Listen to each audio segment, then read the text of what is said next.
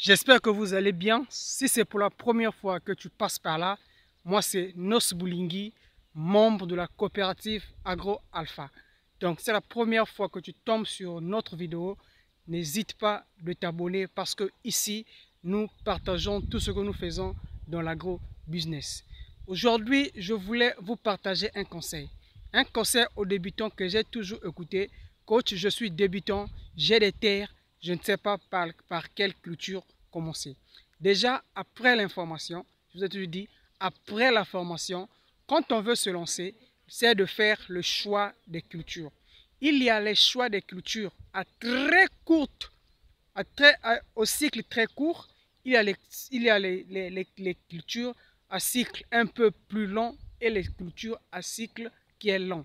Moi, aux débutants, je vous conseille ces trois cultures.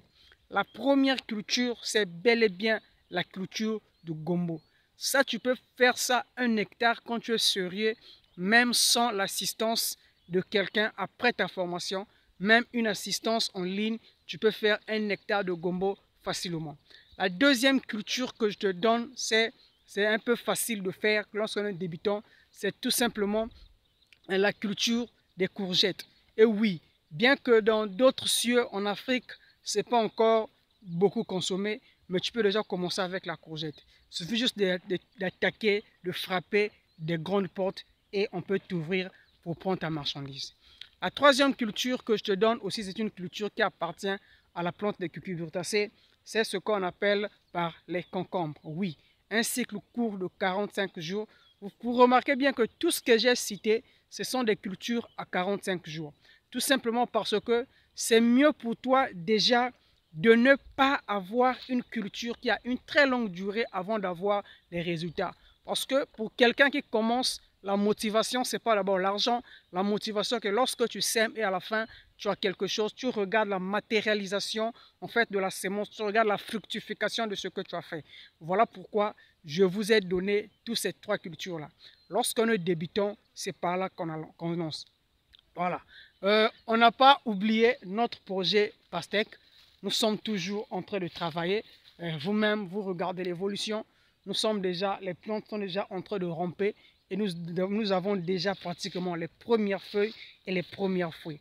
Voilà, euh, nous avons fait ce qu'on appelle déjà par la taille. Voilà, en tout cas, ce jour-là, j'étais tellement déchargé. Je vais me rattraper après cette vidéo. Donc ça, c'est la vidéo pratiquement de mardi, c'est-à-dire aujourd'hui après cette vidéo, c'est-à-dire la vidéo de vendredi, je dois vous mettre comment tailler la pastèque. Abonnez-vous pour la suite. Voilà. Donc, à partir de maintenant, nous publions chaque mardi, vendredi et dimanche. Voilà. Donc, suivez-nous. En tout cas, nous allons encore partager avec vous. Regardez les résultats de ce qu'on a sémé ensemble. Aujourd'hui, nous sommes ici. Comme on vous avait dit, jusqu'à la récolte, nous allons récolter ensemble. Voilà. Après, après avoir vous montré, aujourd'hui, nous sommes en train de pulvériser. Nous sommes en train de pulvériser. Euh, ce sont des, ce sont des, des, des trucs qui sont 100% bio. Voilà. Ce sont des fertilisants bio. Nous sommes en train de pulvériser. Donc, euh, on ne voulait pas faire la publicité, citer le nom de ce fertilisant. Si tu as besoin de savoir le nom de ce fertilisant, il est très économique, très moins cher. Écrivez-nous euh, laissez un commentaire, laissez un numéro, nous allons vous répondre. Merci beaucoup.